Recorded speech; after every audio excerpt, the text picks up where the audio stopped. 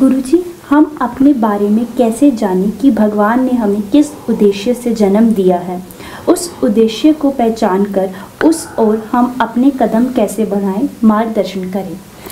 देखिए, वस्तुतः जो सत्य है वो तो ये है कि ईश्वर ने हमें धरती पर सिर्फ़ और सिर्फ़ और सिर्फ़ परमात्मिक प्रार्थनाओं को करने के लिए, परमात्मा से संबंधित कृत्यों को करने के लिए, यानी कि पूजा पाठ, अरदास, वचन, प्रार्थनाएँ, नमोकार, ये जो जो भी हमारी जिस भी, जो भी ढंग है हमारा, ईश्वर के प्रति अवलंबन का, संबंध बनाने का, परमात्मा के साथ जुड़ने का, सिर्फ़ इसलिए भेजा है।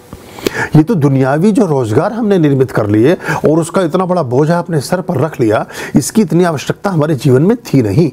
और जब आप इसको अर्पित कर लेते हैं, जब आप फोर्ब्स की लिस्ट में ऊपर होते हैं और साउथ ईस्ट ऑफ़ एशिया में, बल्कि एशिया में सबसे बड़े उद्योगपति हो जाते हैं, तब भी आप आईगिरी नंदिनी पर ही डांस करने का मन करता है, आपका 500 करोड़ का हीरा नेकलेस सेट पहनने के बाद भी।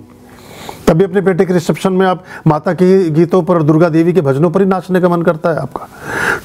ये एक्सट्रीम है एक बात की। अमिताभ बच्चन का दिल नहीं भरा पहली बार राम के दर्शन करने में तो फिर दोबारा जा पहुँचे पंद्रह दिन बाद। तो अगर कहीं तो अंततः जो आपको कोई भी कृत्य आप करें, हर कृत्य को करने के बाद आपके पास एक असंतोष की छाया रहेगी। एक असंतुष्टि का भाव रहेगा। कुछ रिक्तता आपको सदा सर्वदा सालती रहेगी। कुछ चीज़ में खट्टा मीठा अनुभव हमेशा होता रहेगा। ये सिर्फ़ ईश्वर का एक संग साथ ऐसा है जिसमें आपको कभी रिग्रेट नहीं होता। देखिए, अगर आप परमात्मा को पाने चले हैं, आपने पा लिया तो क्या कहने? और नहीं भी पाया तो प्रयास कितना बड़ा था।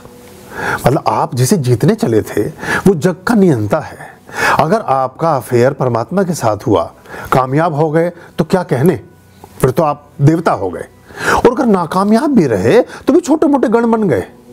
जिनका सम्मुख पड़ने पर माँ काली महिषासुर मर्दिनी ने जिनका वध तक किया, वो भी अमृत को उपलब्ध हो गए। उनके भी ठिकाने और उनके भी अड्डे और उनके भी मठ बन गए, उनके भी स्थान निर्मित हो गए। और कई मान्यताएँ तो ऐसी हो गई कि वहाँ आप जाएँगे तो साथ साथ भैरव का भी दर्शन करना पड़ेगा। वहाँ जाएँगे तो साथ साथ इनका भी दर्शन करना पड़ेगा।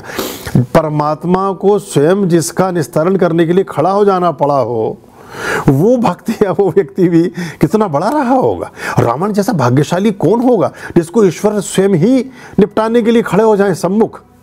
आप सोचिए, जिसके इशारे पर पूरी नियति इधर से उधर हो जाती हो, उसको अपने हाथ से उसका क्रियाक्रम करना पड़ जाए।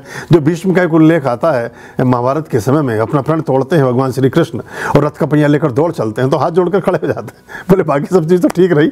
लेकिन आज सवेरे सवेरे मैंने सूर्य को अर्घ देते समय ये प्रार्थना की थी कि ये रविदेव है विष्णुदेव, कि आज मैं कुछ ऐसा करूँगा, ऐसा पराक्रम प्रस्तुत करूँगा कि आपको मुझे आशीर्वाद देने के लिए आना पड़ेगा। और वो उपस्थित हो गए।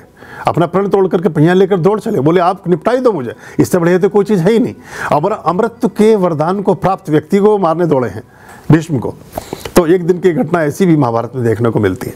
तो ये सब चीज़ें हैं और आप जितना इनको समझे, उतना बढ़िया है। आर्याम्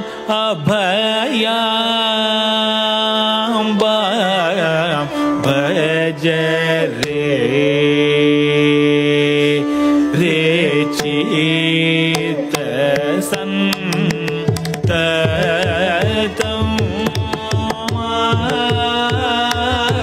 आर्याम्